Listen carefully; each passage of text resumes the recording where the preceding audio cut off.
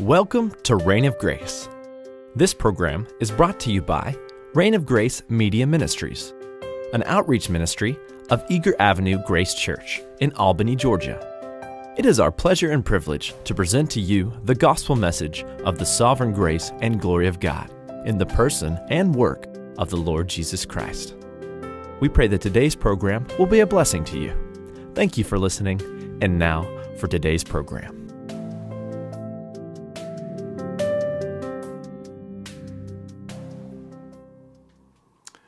Like to welcome you to our program today. I'm glad you could join us. And if you'd like to follow along in your Bibles as I preach the, this message, I'll be going back to the Old Testament to the book of Job. And the chapter is Job 25. It's one of the shortest chapters in the Bible, just six verses. And the title of the message is How Man is Justified with God. How Man is Justified with God. Now, you know, the book of Job is a very, very interesting book. And a lot of people, uh, when they think about Job, uh, obviously we think about suffering because Job suffered uh, in a great way, uh, as much as probably any human being can suffer. He lost his, uh, his home, his, his family, he lost his wealth, he lost his health, lost everything that um, we by nature hold dear in this life. and of course, I'm not going to go back into all of the uh, dealings with how God dealt with Job, other than to tell you that he was, Job was, a righteous servant of God. Uh, and that means this that means that Job was a sinner saved by grace. Job's position, he was in the book of Job, chapter 1, he, He's described by the Lord as being perfect and upright. Now, perfect means that he was right with God. Doesn't mean that he was a perfect man. In fact, if you read the book, you'll see that that Job uh, uh, sinned greatly in his pride and in, in defending himself, in uh, uh, getting to a point where he claimed that he didn't deserve what he got. But Job was a sinner. And that's the way we all are. We're sinners, eh, we're sinners in this world. And if we're saved, if we're right with God, if we're perfect, it's based upon the righteousness of the Lord Jesus Christ and not our own works or our own choices. And then Job is described as an upright person. That means he stood upright, he did what was right, and what that means is that he was a believer. He was regenerated and converted by the Holy Spirit to look to Christ as Job saw him as the Redeemer who would come in the later days, uh, the Messiah. That's how in the Old Testament they looked forward to the Messiah coming into the world to die for their sins, that's what believers did, and to make them righteous in God's sight by the work that He would do. And that's Job being upright. He was a man of faith, he was a man of integrity. He wasn't saved by his works now. And he, it, it, salvation is by grace. And that holds true for Job as it does for any sinner who is saved. But this book, as Job began to suffer for, the, for reasons that God unfolds as you go through the book, he had three friends who came and tried to comfort him, and they were unbelievers. They didn't know the gospel. They thought like we all think naturally. And, uh, you know, you see somebody who's suffering or whatever, and there's a natural tendency in us, and we sometimes we try to curb it, but we wonder, well, now what did this person do to get him or herself in this shape? What, what's happened here? And, and that's what Job's three friends were trying to figure out with him. Uh, Job, why are you suffering like this? Why you must have done something really bad to uh, bring this down upon you, or God wouldn't do this, you see. So we've got to find what's wrong and then we've got to remedy it. And Job began to justify himself. Now, uh, uh, that's, that's a problem. Uh, we have to understand, and this is something that we don't understand by nature, that whatever we have that's good is a gift that we don't deserve and don't earn. And so think in those terms. Well, one of Job's friend was, uh, was named Bildad. He was a Shuhite, and that was his nationality. And in chapter 25 of the book of Job, here's what Bildad the Shuhite says. As they're arguing and fussing and discussing and, and uh, philosophizing and trying to figure all these things out, uh, Bildad asks some good questions here. In fact, it's the central issue of the gospel, and only the gospel of God's grace in Christ can answer this. And it says, look at verse 1 of Job 25. It says, Then answered, then answered Bildad the Shuhite and said, Dominion and fear are with him, that is, with God. He maketh peace in his high places. God is the God of peace unto his people. Verse 3 says, Is there any number of his armies? In other words, uh, God is, uh, Isaiah called him the, Lord of Sabaoth, which means the Lord of a great army. And what that indicates is that God cannot be defeated, He's invincible. And so he says in verse 4, now here's where the question, uh, uh well, in verse 3 he says, Is there any number of his armies, and upon whom doth not his light arise? God is omniscient. But now here comes the question, number, uh, verse 4. How then can man be justified with God? How can a human being, a sinful human being, now, now what Bildad is asking here is how can a sinful man, now how do you know he's talking about sinful men? Well, first of all, all men are sinful. All men and women, all humankind fell in Adam into sin and death. The Bible teaches us this. And the Bible says we've all sinned and come short of the glory of God. So when we're referring to man here, we have to look at it as fallen, sinful men and women who, who are unrighteous uh, by, by their works, who cannot save themselves. And the proof of it is the next line in verse 4. He says, Or how can he be clean that is born of woman?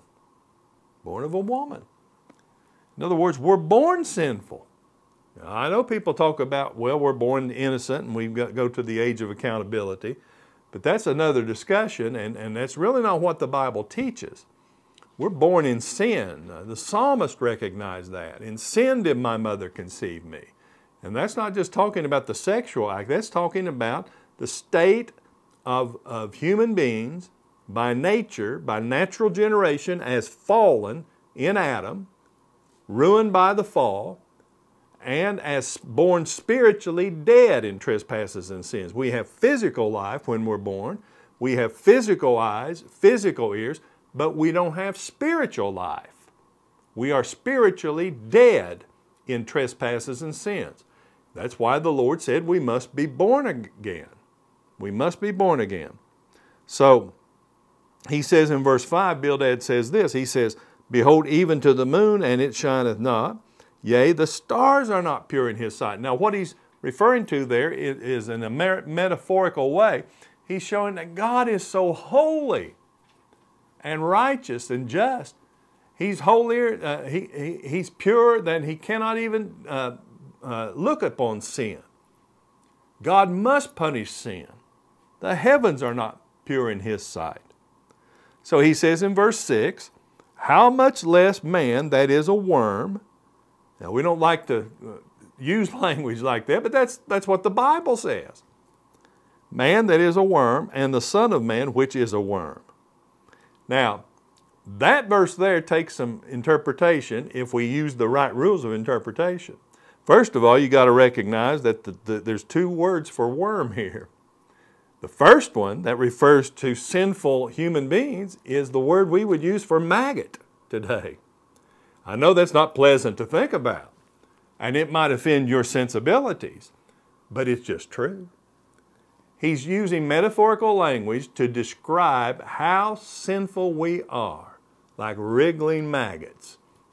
Now, the second word worm there in verse 6 is a worm that is used for uh, uh, the red color, the red dye, there was a worm. It was an actual worm called the tola.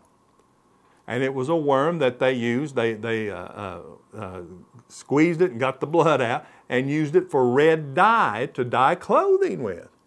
Uh, it was used, the, all the red in the tabernacle was made from this tola.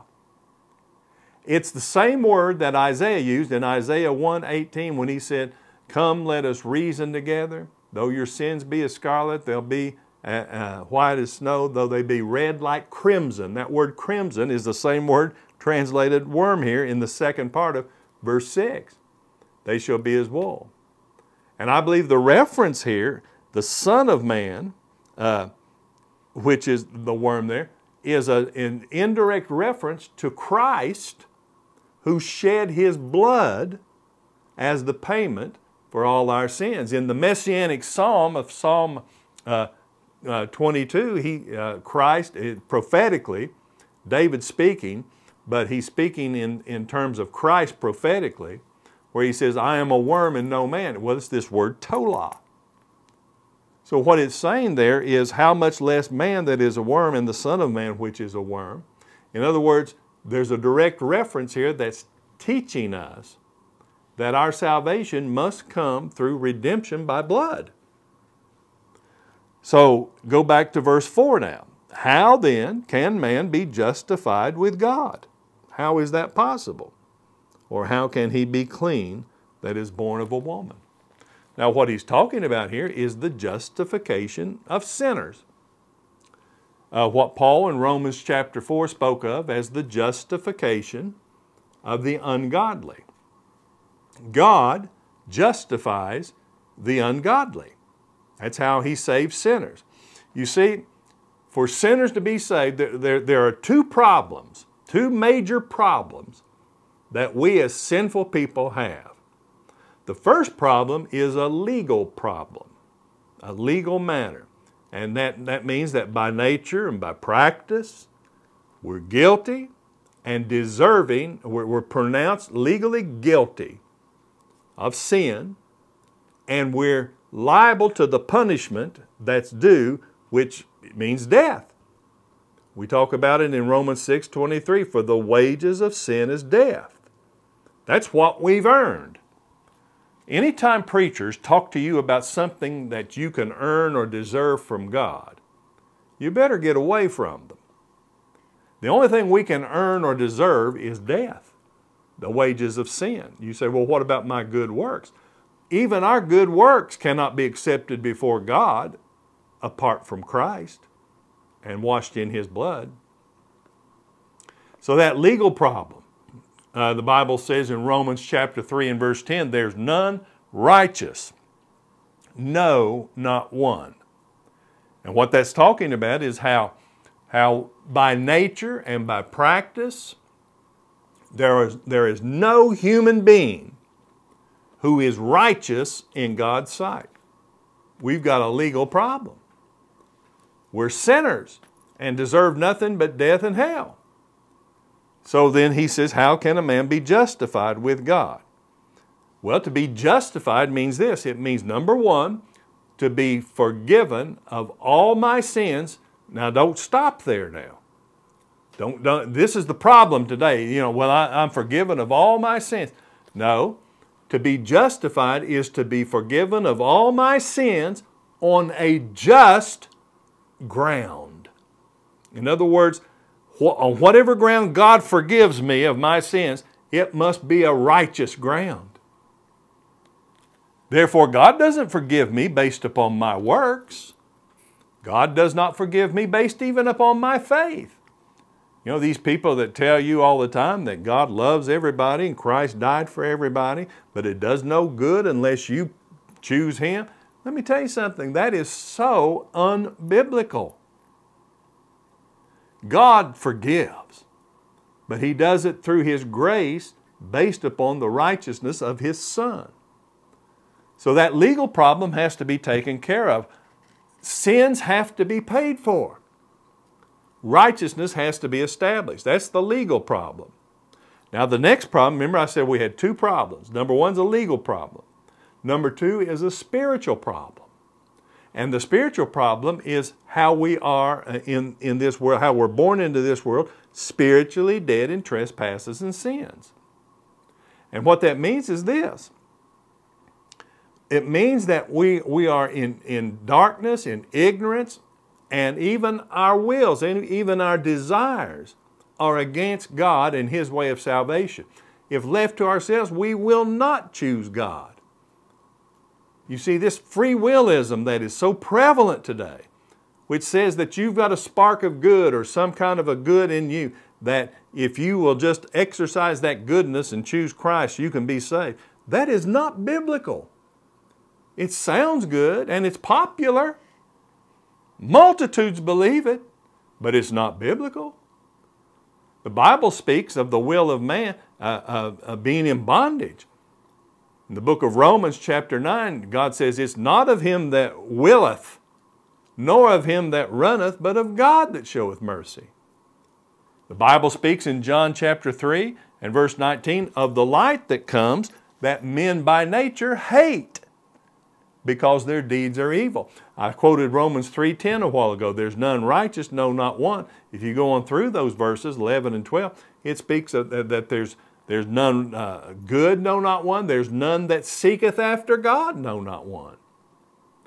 If God left us in our natural state and came down here and took a vote on how many would, would uh, choose Him, none of us would choose Him. That's why we must be born again. In John chapter 1, he spoke of those who received Christ, who were born not by the will of the flesh, not of blood, nor the will of the flesh, nor the will of man, but born of God. So you see, we have, we're in a mess. That's what the Bible teaches, legally and spiritually. Legally, we don't have the righteousness that God requires to justify us, to forgive us of our sins. And spiritually, we don't have the desire to come to God, the true and living God. You know, when it says there's none, in Romans chapter 3, when it says there's none that seeketh after God, it does not say that there are none who, who seek after a God. Man is religious by nature, but his religion is an abomination in the sight of God.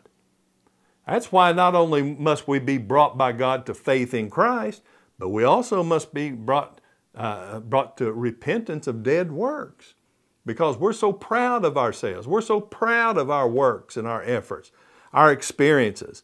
You talk to people today and they'll all, you know, about salvation, they always go back to their experience when they were young and walked an aisle and as they say, gave their heart to Jesus and got baptized.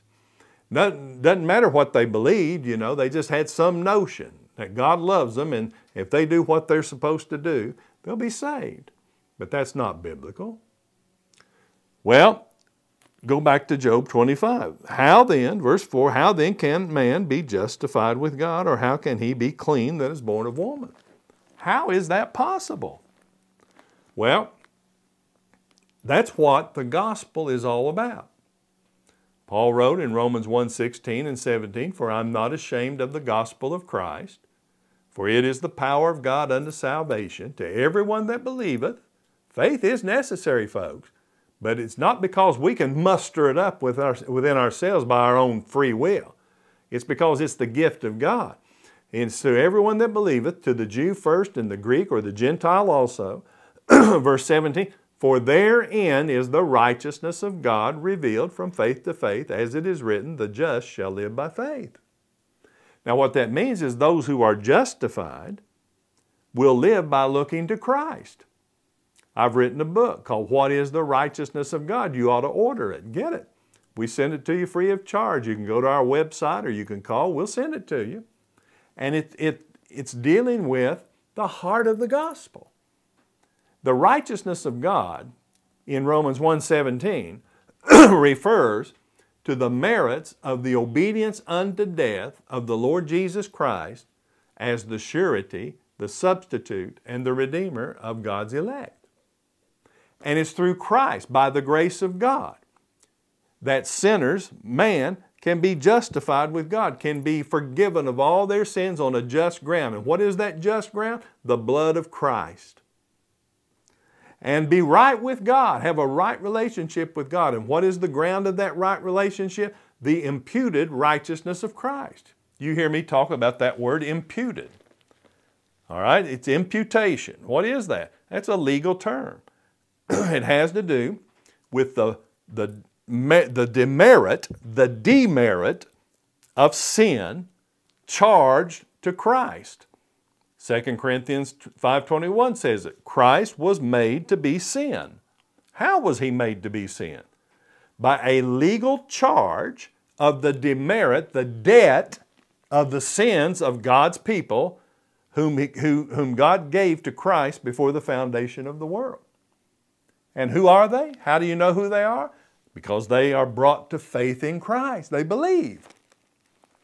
And so that's, that's imputed sin to Christ. How can a man be justified with God? He's got to have a substitute. He can't do it himself. You see, I cannot make myself righteous in God's sight. I cannot wash away my sins. I cannot pay the debt. I can't even contribute to the payment of that debt. So I've got to have a surety, one who will take, the, uh, take my account, my sin debt, unto himself and say, Charge it to me, I'll repay it. And that's imputed sin to Christ. But in return, and that's why Christ had to come and that's why he had to become a man. That's why he had to walk this earth as God man and keep the law. That's why he had to suffer and bleed and die on Calvary's cross to pay the debt so that my sins are forgiven by God on a just ground. The blood of Christ, the Tola, here in verse 6. Son of man, which is orange, red like crimson, they'll be white as snow. Christ washed my sins away. What does that mean? That means He paid the debt in full so that God does not charge me, impute sin to me. Who shall lay anything to the charge of God's elect? It's God that justifieth. Who can condemn me? It's Christ that died. Yea, rather, is risen again and is seated at the right hand of God, making intercession for me, pleading the merits of His blood. But now, when Christ died as my surety, as my substitute, He paid the debt in full. He finished the work so that when He went into the grave, He didn't stay there. He arose again the third day. Why? Because out of His death, out of that sin debt payment that He made, comes righteousness which God has imputed to me, charged to me. I stand before God not in my works, not in my choices, I stand before God in the righteousness of Christ, imputed, charged to me.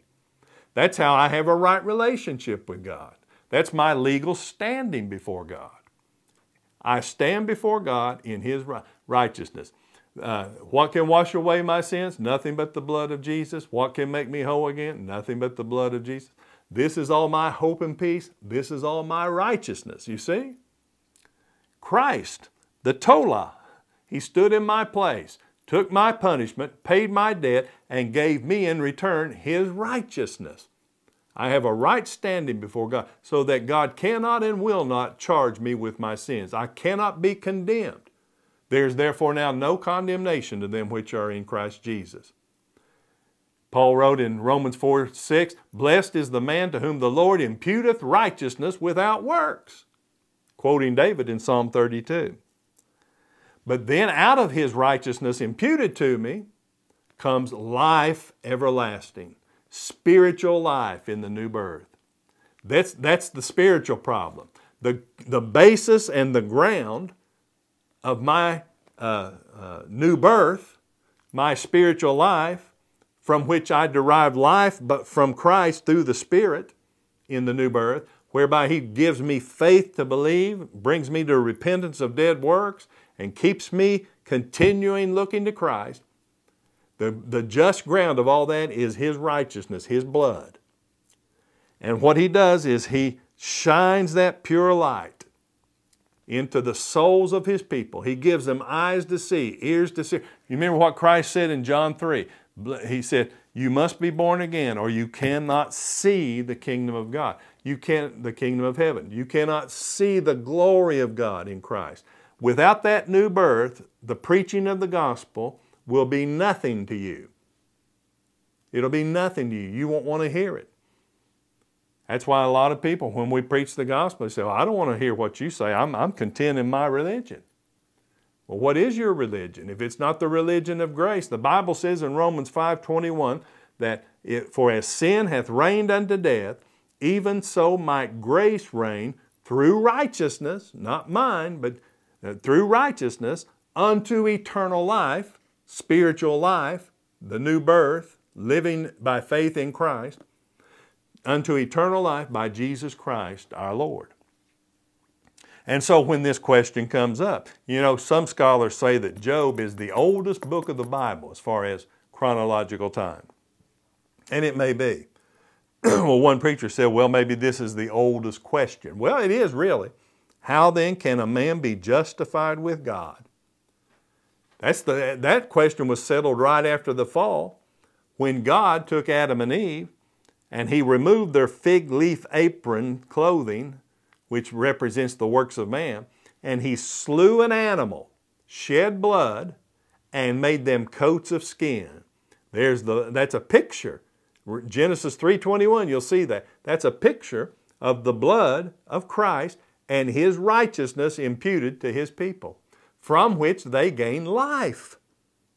Life everlasting, spiritual life. The Spirit indwells them continually. He abides with them forever, and He will not be taken away. He will not go away. And He brings us to look to Christ. He brings a sinner to see his sins, that, he, that we deserve nothing but death and hell, based on our best efforts, even in our religion. And He brings us to see the glory of God in the face of Christ, to believe in Christ, to rest in Him, to submit to Him as our only righteousness before God, and to live in that truth, walking uh, after the Spirit and not after the flesh. There is therefore now no condemnation to them which are in Christ who walk not after the flesh. That is, not, don't walk in their works of religion and morality thinking that that saves them, but walk after the Spirit looking unto Jesus, the author and finisher of our faith. And that's how a sinner is justified before God, based upon Christ's righteousness imputed. And from that legal standing, that right standing, we gain uh, a spiritual life from above in the new birth. So I hope you'll join us next week for another message from God's Word. We are glad you could join us for another edition of Reign of Grace. This program is brought to you by Reign of Grace Media Ministries, an outreach ministry of Eager Avenue Grace Church in Albany, Georgia. To receive a copy of today's program or to learn more about Reign of Grace Media Ministries or Eager Avenue Grace Church, write us at 1102 Eager Drive, Albany, Georgia 31707 contact us by phone at 229 432 6969 or email us through our website at www.theletterrofgrace.com. Thank you again for listening today, and may the Lord be with you.